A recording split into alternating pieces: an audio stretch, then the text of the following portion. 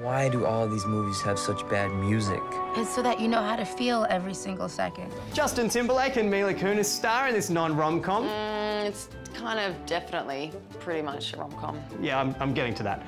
Friends with Benefits is a romantic comedy, but in disguise, and sees executive recruiter Jamie tasked with convincing Los Angelino art director Dylan to take an offer at GQ magazine in New York City. Naturally, JT's character Dylan is hesitant, but after an evening with Kunis, who wouldn't say yes? Dylan quickly strikes up an interesting friendship with Jamie, and after a cosy night on the couch together, the pair agree they shall become friends. Friends with benefits. No emotions, just sex. So I guess we should just start. Although they both agreed that they won't commit emotionally to the relationship, you already know what's in store for this non-couple.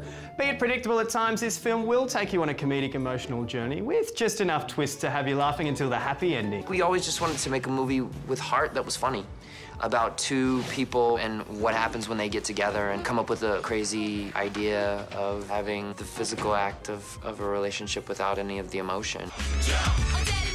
I can't believe you used to like them. I didn't like these guys. I don't even remember. Don't try to compare us to another bad little fat. I'm the man in a bag. Give you something that you never had.